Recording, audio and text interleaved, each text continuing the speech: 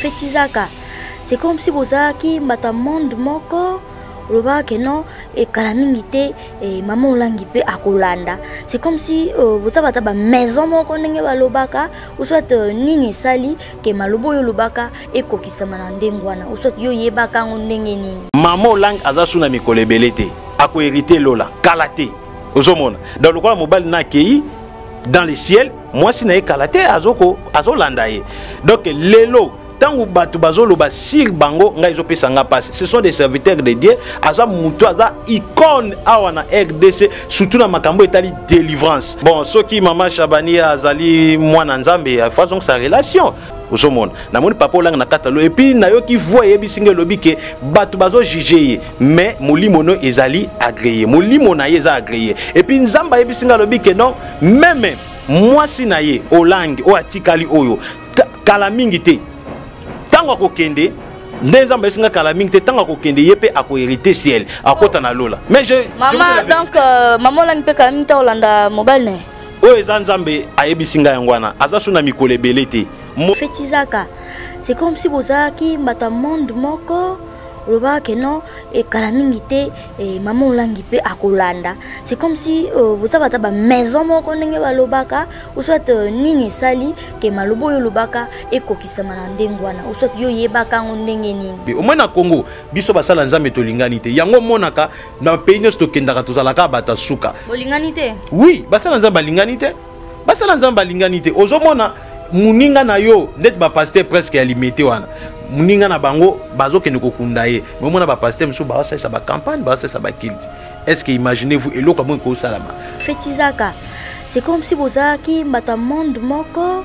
olobaka ke non ekala mingi te eh, mama olangi mpe akolanda c'est comme si euh, boza bata bamaison moko ndenge balobaka oswat euh, nini esali ke maloba oyo olobaka ekokisama na ndenge wana oswat yo oyebaka yango nzambe alakisaki ngai na basuccesseur bato oyo bakosuccede papa élysée et plutôt papa ézéchiel joseph olangi et puis mama elisabeth olangi yosho nzambe alakisaki ngai bato oyo bato balakisaki oyo bazaka na kati ya église bazala wana oui. Oui, bazali kaka na kati ya église. Dali. Nzambe alakisaki yo nani? Mwana, bana.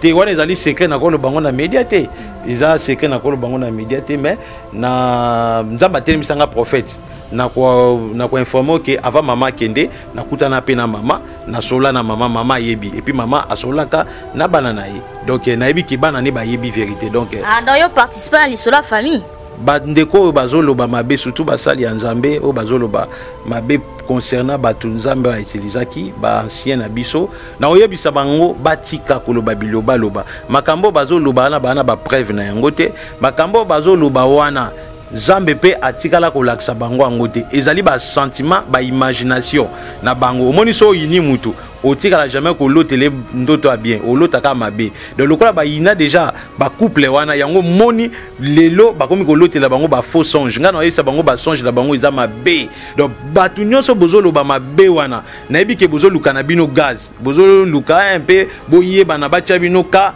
bato babanda kolanda bino tutututu nyonso wana eza nango zero eza nango zero parce que oyo nzambe alobaki na émission oyo le 7 octobre 2017 deje koyosami mama akei ake kopema donc bino baémission nyonso baosala wana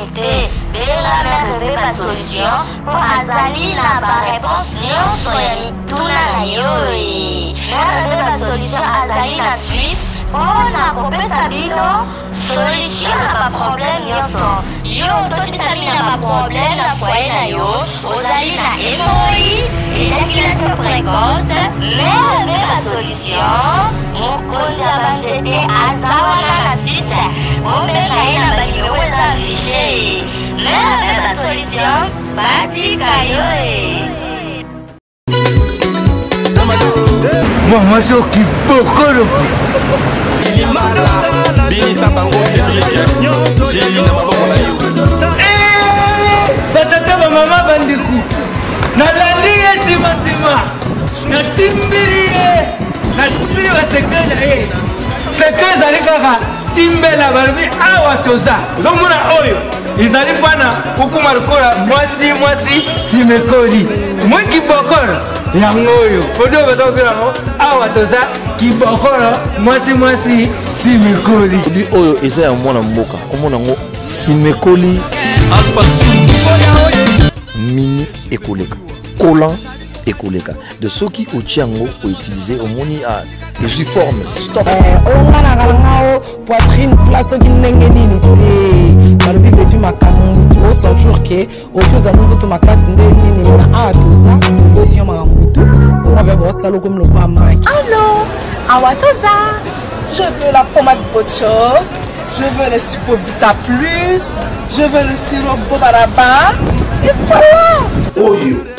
pomade ya kopakola dans quelque temps okomona nzoto na yo mobali ezongi mpenza ndenge nzambe akanaka ezala dokto bapeni peni voilà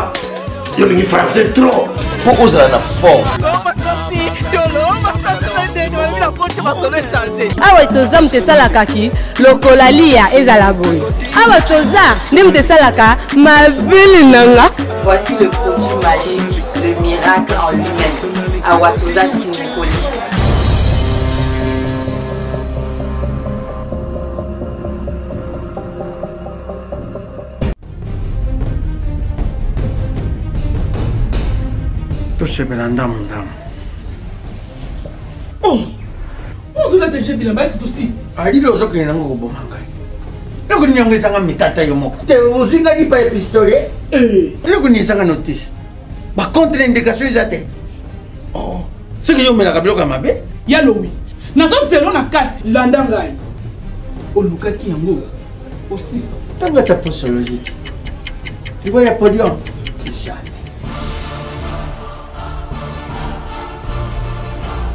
alekisi nono bakangamaka taka na sokolaka bilamba ye akangama kaka na yo moko vraimen eh? ah, solution deja ezwama ti solution yango oyo makasi bio kafe nde nini lisusu Maxi Bio Cafe ezosala makambo ebele na nzoto ya moto. Fungola nga memoire. Nani o traite faiblesse sexuelle, hémorroïde. Ok. Nazobaka. Solution la soir.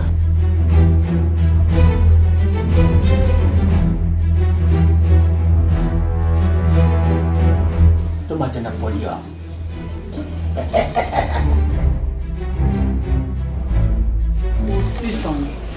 bongo kokoka te tono talo kutu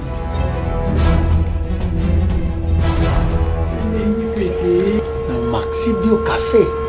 nazongaka mwana maxi bio cafe ebongisi libala na ngai ye na te podium na podium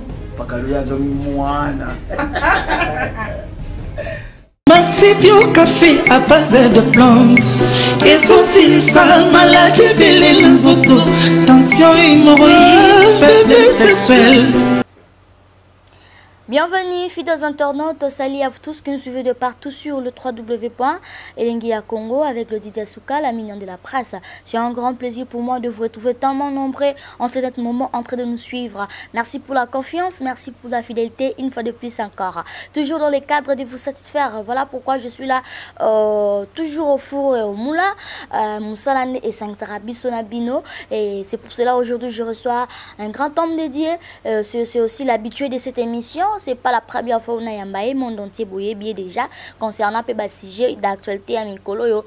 à passer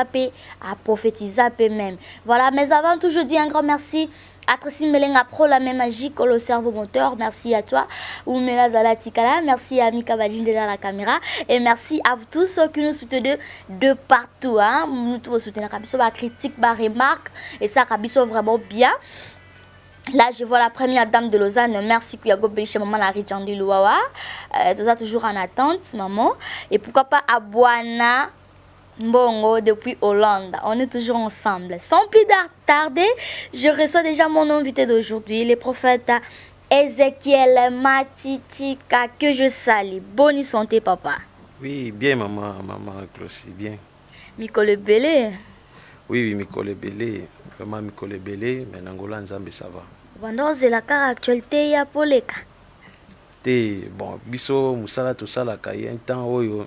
tozalaka un peu na mwa concentration ya prière ye un temps oyo tolandelaka nde bato babengaka biso na libanda tolandela baka na bango yango monaka mokie tobungaka mpe na media mais tozali Et concernant votre ministère, ils ont euh, jusque là hmm, Ministère, ils ont malamu. Ils ont nango malamu malgré tout bitumbe zanga nango te mais ils ont penza bien. Nangolo nzambe ça va. Bitumba nde nini? Yo pe oza na ba pacte, oza na ba nini osigne deja? Mutu nionso oyo aza na lumière epa na ye, batu nionso ba bundisaka ye. Donc euh, batu nde ka balobaka euh, kofinga, ko critiquer. Donc euh, c'est ça ba bitumba. Donc bitumba. Donc eza par rapport à ça ba attaque ndenge toza boye omoni Euh, bisika ndeti totye église wana tokoti tosali pas même 5 mois barrière alobi fo bosomba lupango oyo donc eza déjà babitumba donc so oh. bosombi te bodeplace église na bino donc eza déjà babitumba oyo ministère ezo kokutana na yango mais lokola eza ya nzambe tokolonga Merci beaucoup, très heureuse de vous retrouver, euh, de vous recevoir, pardon, sur mon plateau d'aujourd'hui. Prophète Ezechiel toza na sango ya mawa surtout bino basali ya Nzambe tobungisi lisusu euh, notre très chère maman Olangi oyo a rejoindre mobali na ye par là okoloba nini Vraiment pona yango esali penza pasi esali pasi kobungisa ba icône munene oyo Nzambe apesa biso na Congo awa bato oyo bazalaki ba exemplaire surtout na biso ba generation ya sika oyo ebotami eh, kobungisa bango mpenza esali mpasi makasi nga ntango nayoki nouvelle wana mpo na butu nayokaki yango te nayika na batongo boye namoni message ye mama olange akufi bato mosusu babenga papa tuna nanu kuna mama olange akufi vraiment nalelaki nalelaki nazalaki kuna na bademarche moi esengeli ye nasala mpenza nazalaki vraiment affaibli na temoignage wana esalaki nga pasi vraiment esalaki biso pasi me bandeko na nga biologique babengaki batuni vraiment esalaki pasi makasi ntina yo obenga charge ya communication ya, ya mama olangi kuna nabengaki ye aconfirme ke no mama aza lisusu te euh, depuis 23 heures mama akufaki donc esalaki biso nyonso pasi vraiment pasi oyo vraiment balobaka vraiment pasi ya lokola mutu eh, operde eloko moko boye obandaki koespere na yango aza te merci beaucoup prophète ezekiel tokozonga nayebi ke yo oza un peu oza ancien na, na chaîne oyo na émission na biso tozwaka yo dernièrement ntango papa olangi atikaka biso euh, si je me trompe pas émission eza mpe na youtube Et si Tracy Mbelenga peut aussi nous aider à complicité de Mika Badjinde, bako balancer biso image wana au prophétisaka. C'est comme si bozalaki mbata monde moko olobaka ke non ekala mingi te e, mama olangi mpe akolanda c'est comme si euh, boza bata bamaison moko ndenge balobaka ou soit euh, nini esali ke maloba oyo olobaka ekokisama na ndenge wana ou soit yo oyebaka yango ndenge nini voilà un peu vraiment mm, Nzambe apambola yo pona mutuna wana. Euh, nakoloba nini? Un prophète d'abord bayebaka ye tanga prophétiser makambo alobi ekokisami. Yango nde ba confirmaka que non moto oyo aza un prophète. Prophétie eyaka na trois temps, eyaka na temps passé, temps futur et puis temps présent. Euh, Nzambe apesaki ngai lisakoli eza toza bata monde ya molili te.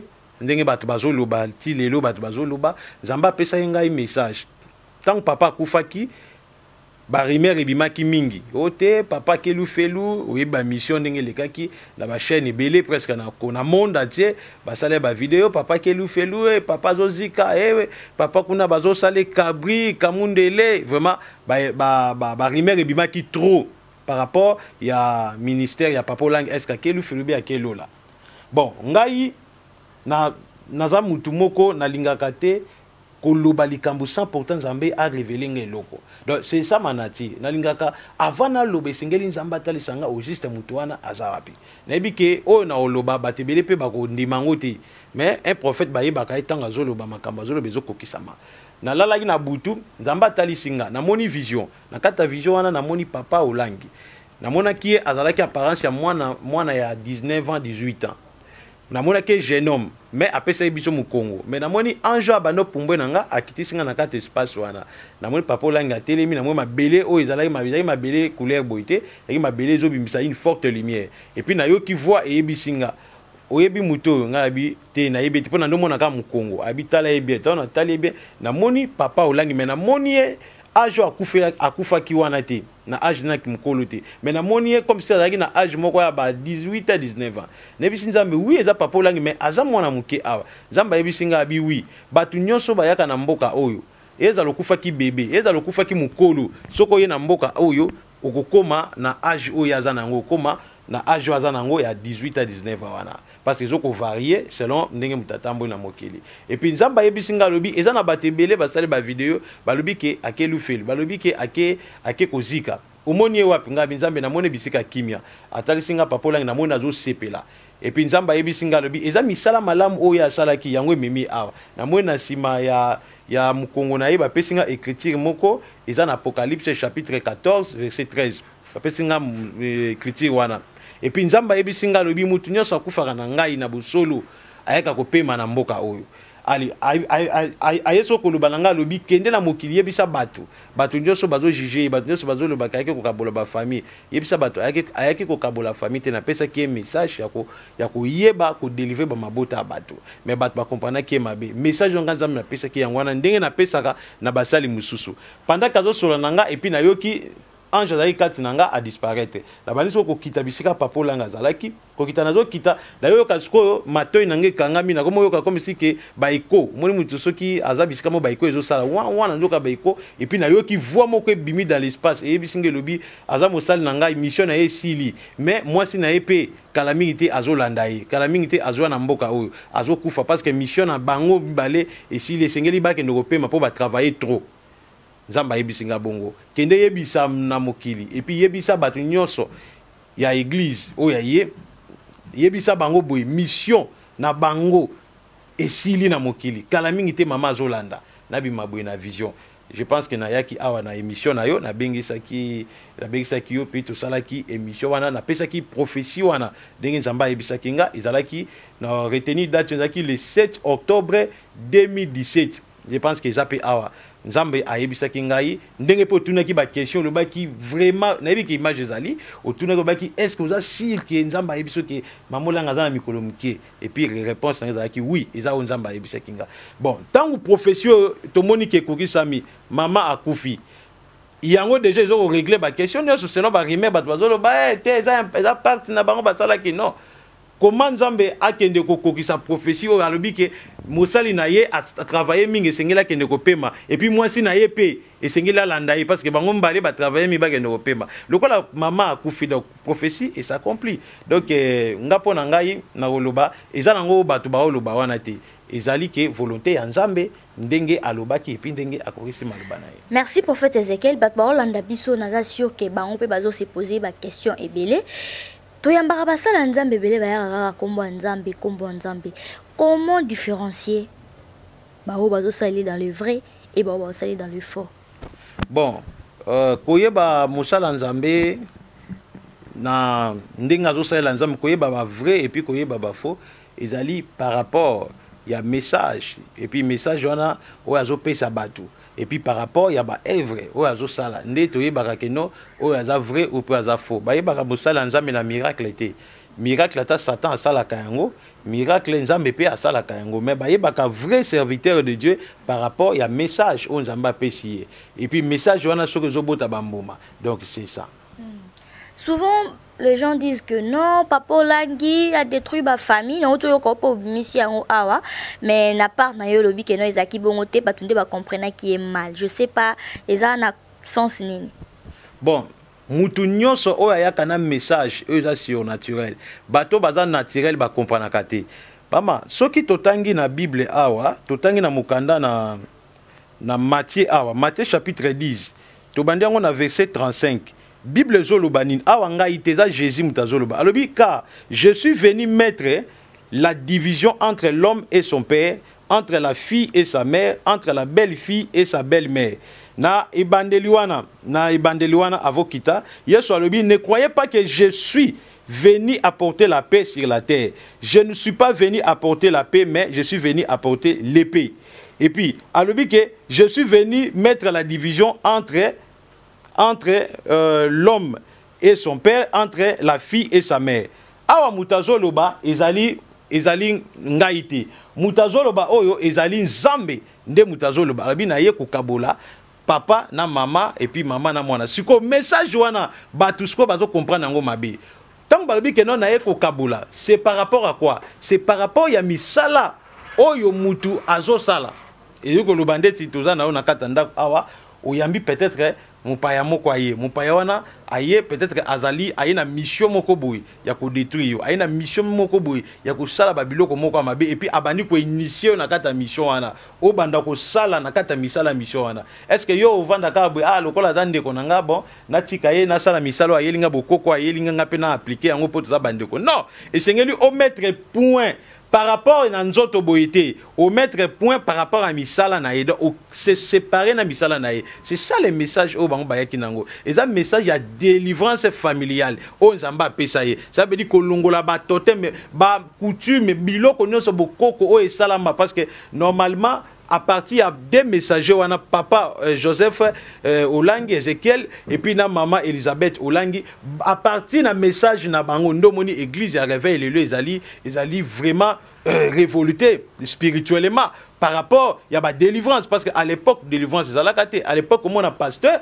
aza pasteur mais azosala bacoutume oyo te eh, ngai na famille na biso toliaka mbembe te nakolia mbembe te e ngai na famille na biso eh, tosokolaka maboko na mai ya moto te mais aza pasteur mais ntango baenseignement ya ministère ekomba ye ereveya bapasteur presque ebele yo oza témoin toza na yo na congo awa ereveya bapasteur presque ebele epuis bapasteur ebele bazwa conscience ke non motu soki aza en jésus christ condamnation moko te eza likolo na ye cela veut dire coutume nakosala su coutume te nakorespecte coutume te bainterdiction basengaka bainsecte ya famille wana nakosala yango te à partir ya message oyo bango bayaki na yango donc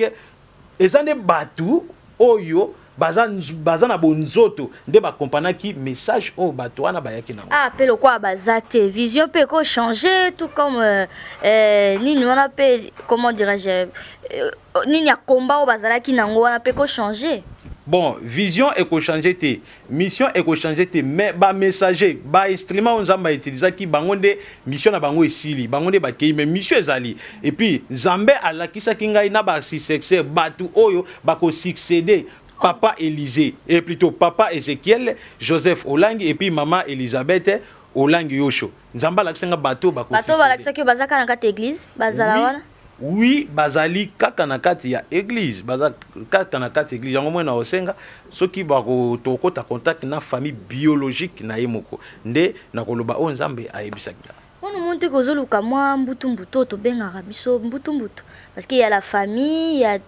bango bayebi ndenge barepartisa makambo na bango na ensemble kuna sikoyo ntongo olobake nzambe arevele omoni te ke epesa mwa trouble te epesa trouble te omoni vision so ezalaki ya, ya, ya satan so ezalaki vision moko eh, ya mabe epesa trouble donc d'abord d'abord ministère so ezalaki église ya nzambe te kaka ndenge papa akufaki wana ongomona ministère yango kabwana de parti kabwani ya kokabwana ozomona lokola eza eloko moko nzambe moto apesa vision wana papa akei me ozomona quand meme cohésion wana ezali amour wana ezali nzambe alakisaki yo nani mwana bana te wana ezali secret na koloba bango na media te mm. eza secret na koloba bango na media te mais na nzambe atelemisa nga prophète na koinforme oke avant mama akende nakutana mpe na mama nasolola na mama mama ayebi epuis mama asololaka na bana na ye donc eh, nayebi ke bana ne bayebi vérité donc eh. ah, donc yo participe na lisolo ya famille bon na participe na lisolo ya famille te mais je suis un messager na prophétisaka ok donc eh, vérité ezali bato euh, dans makambo so tokoloba na vérité bana bayebi yo oyebi mama mpe ayebaki c'est ça bon ngai na osenga kaka na bana nyonso ya nzambe bana ya ministère ya combat na osenga na bango bazala soude bazala bomoko nzambe aza na message oyo alobaki epuis message wana bakoyoka yango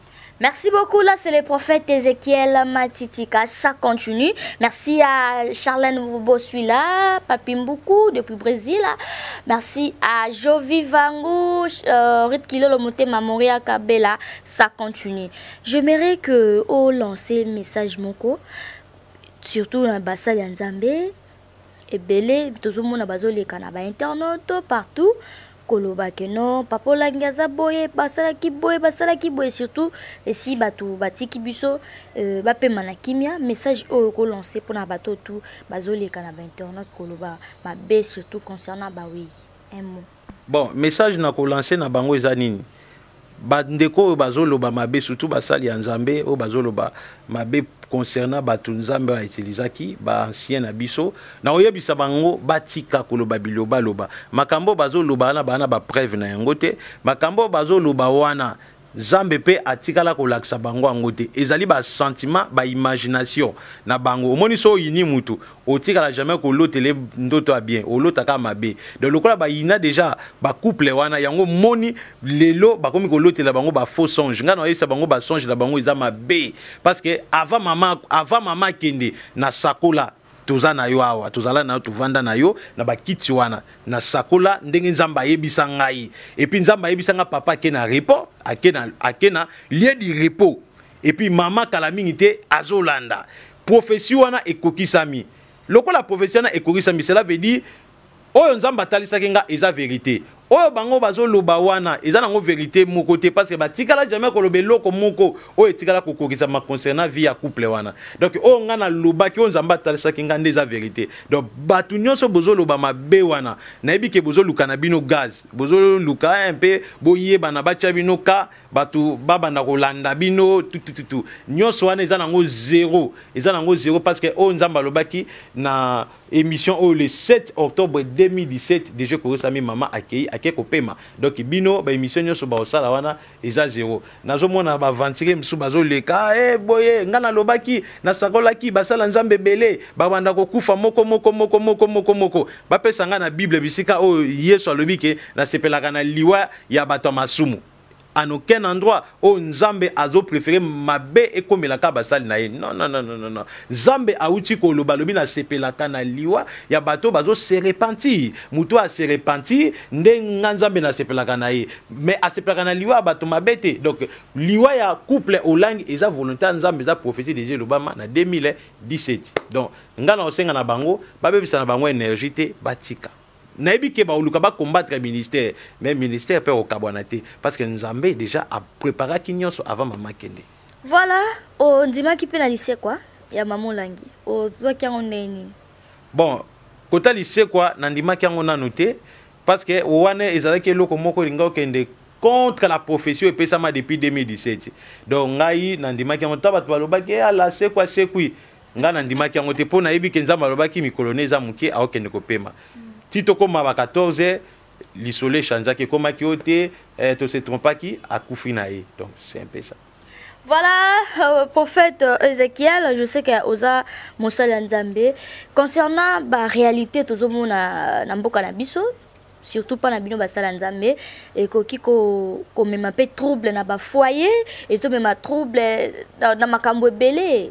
par là okoki ko koloba nini tomoni ke mosala nzambe moko peut-être neti yo boza na message moko boye na esika oluka bandeko wana me boye nango peut-être na média bodiffuze yango na bandenge moko ya mabe moteke ezobebisa mpe image na bino bozosala mosala bien te Vraiment eloko wana o suscite point moko ya bien. Omoni message oyo nga Nzambe apesi nga soki olandi yango bien eza message oyo ezolobela si la division te eza message moko ezolobela si kosangana cohésion ya bakristo oyo baosambela na ministère ya komba ozomona na komba wana baa na bapartenaire ya minene ngai naa na baproblème financier na baproblème financier nakoki mpe kosala oyo nyonso nakosala mpe nazwa bapartenaire wana mais ngai nazosala mpo na interet ya ministère epuis na baemission na ngai mingi nalobaka soki ozali mwana ya ministère kende kuna mais so otangama mpo na prophète ezekiel yaka epa na ngai donc nakoprofite te ke na base ya na, na, na liwa ya mutu ngai nabanda koloba ba n'importe quoi mpo kaka nayeba kopanza ministère non non non ngai nakoloba bandeko bazolekaka baosala babiloko wana eza mabe omoi na congo biso basala nzambe tolingani te yango omonaka na pays nyonso tokendaka tozalaka bato ya suka bolingani te oui basala nzambe balingani te basala nzambe balingani te ozomona muninga na yo ndeti bapaster presque ya limete wana muninga na bango bazokende kokunda ye me omona bapaster mosusu baosalisa bacampagne baosalisa bakilte est ce que imaginez vous eloko yango ekosalama nga nde naza boye naleka émission na chaîne oyo ya congo molière awa mais nde naza boye nayebi te soki samedi oyo naosala émission Non, c'est l'émission. Même non, parlant lingo loba, euh, ba, ba pasteur belé ba yaka ba yakite na matanga ya papa Olangi, mais bazo sala ministère moko en même temps kuna ba olela, kuna bazo sala ba campagne c'est ça. Oui. To moni yango toza na ona Congo tozo mona. ya na bato mosusu baolekisa basport bazosala babiloko eh, tutu mais pendant ke moninga na bango un joueur ya monene auti kokweya awuti kokufa mais omoni bango bake obeta compétition quelque part même ata football ya mokili ezalaka bongo te joueur moko so azwi problème omona so joueur moko akufi même na terrain omona compétition wana ekokata même ozalaki na finale esengeli match ekatana balandela nano ndeko wana akufi mpo na nini mais omoni basala nzambe baosala babiloko donc eza sini keno biso basala nzambe tolingani te toprofitaka na faiblesse ya moninga mpo toyeba kozwa bandimi oyo mama kozwa bandimi eza facile te eh. faiblesse ya moninga yo profite obebisi reputation na ye kaka mpo ozwa bandimi oyo anyokwama mpo azwa bandimi wana yo oyibi bango mpo bakoma ya yo ozomona donc c'est ça eloko eza na kati ya bapastere ya congo yango wana yango nalobaki boye zambe ayebisaki ngai nalobanga meme na bachaine mosusu ya congo awa nzambe alobaki baancien oyo baya wana balingana te nzambe alobi azo changer génération génération ya sika ezobotama parce que baoyo bayaki liboso bazosala buzoba mingi ndeti toya na ka ya matanga be omona bato mosusu kala mingi te bacampagne ezobanda obetama mais corps nanu bakundi yango te omona bacampagne ebandi kosala bato tu bamosusu omona oleka na tv o oh, ngai nde naza boye naza grand nde tomonaka makambo ya papa olangi tomona mosala nzambe moko aleka o oh, te ngai nzambe ayebisi ngai so nabondeli mpo na ye akobika aleka na télévision mais ngai na prophétise na prophétiser mais na ye na ye ko loba o oh, nzambe ayebisi nga na misa mais na ye te po ba mona nga na grand prophète non na ye po na kabola mawa pe na yebisa communauté ya ya combat spirituel wana bazala uni bazala bomoko na ndenge na bango eza te ke non baye epa na nga ah, prophète lokola yo osakolaki ekokisami toyo toye epa na yo toki tokoma bana na yo non parce que so batangama bakokende lola à travers message na nga te bakoki mpe kokende lola na travers message na nga te donc biso ba ba pasteur bolingo eza te est ce que eza ya solo ba pasteur ebele bazo travailler na magie oui ba pasteur ebele ba travaillaka na magie eza ya solo ya na ba pasteur ebele ba travaillaka na magie et puis ba pasteur ebele ba travaillaka pe na bosolo parce que Yesu alobi toi na ba faux prophètes ba koya et puis ba véritable pe ba kozala ko eza important kozala na magie et tant que ozo sala deux facettes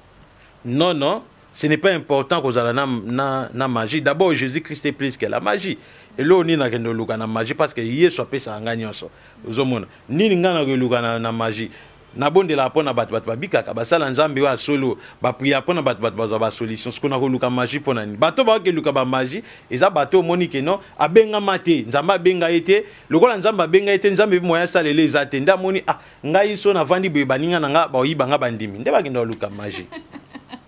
bamiracle na batémoignage ezalaka déjà préparé babi yango nde phénomène miracle na église ekoma préparé na témoignage mpa na yo mpe eza bongo non non non non mais nayebi ke bato mosusu basala bamiracle moko fausse batémoignage moko préparé mais mpo na biso non Non. Biso toyokaka oyo Nzambe alobi. Toyokaka oyo Nzambe alobi epi tolobaka. Donc ba témoignages na biso, ba miracles na biso ezalaka oyo Nzambe ayebisi biso. Mm. Voilà, fidèles internautes, tout qui est malé, malé, mais pour encore chuter, j'étais avec euh, le prophète Ezekiel Machichika. Voilà, prophète Ézéchiel, euh, dernier mot concernant la circonstance où Yamatanga et Kolobani n'a pas tout le monde entier pour nous ça l'émission à l'élo. Oui, dernier mot, Ezaka Kake, Batunyon Soya, ministère ya combat, nous a vraiment éprouvé. Euh, na osenga na bino bisika nyonso bozali bozala soude bozala bomoko message nzambe ayebisa ngai nayebisa bango yango wana mutu moko te adivise bino soki bomoni mutu moko na kati na bino akomi kokoma makanisi ya kobima libanda selon routine ya mama ndenge atika botelemela ye bozala bomoko mutu oyo akosuccede ye aza na kati na bino wana aza na ye mosika te nzambe deja alobaki message ya suka na oyebisa bango yango wana bozala console boloba te ke nzambe abwakisi biso nzambe atiki bino te prophetie moko ndima pe eh, ekokita eh. o oh, nzambe atiki biso mpo na nini mpo na nini nakozwa mosalali baorphelin namonaki na baimage mosusu bazoleta totikali baorphelin totikali baorphelin te mpo tata na biso azali mm. jésus christ azali totikali baorphelin te bango bazalaki kaka bainstrument mm. ya lokola papier mouchoir mm. nazwi papier mouchoir na utilise yango soko esili na obwaka nini nabwaki chasse nzambe azwaki bango autilize nzoto wana lokola misio na bango esili nzambe azwi nzoto wana abwaki yango e, e, e, ekokundama na mabele epuis molimo esongi na yango donc totikali baorphelin te jésus azali yesu azali donc bozala na bino kimia bozala bomoko bozala console nzambe azwi mosali na ye precocement te nzambe deja alobaki yango eza prophetie ya le 7 octobre 2017 na chaîne oyo elengi ya congo Voilà, pour terminer, numéro à contact na yo, batu bolinga ba joindre yo parce que ba, ba message au PC est tellement capital, euh, rapidement numéro à contact. Numéro à contact ezali plus 243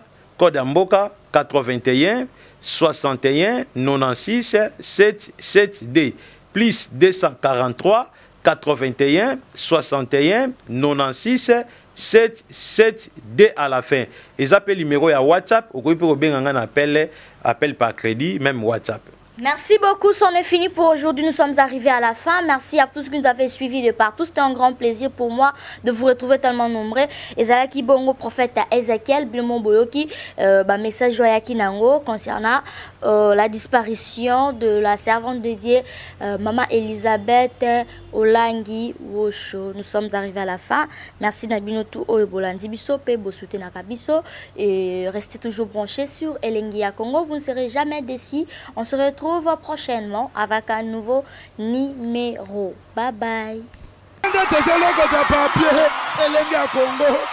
Glodidi asika la mignonne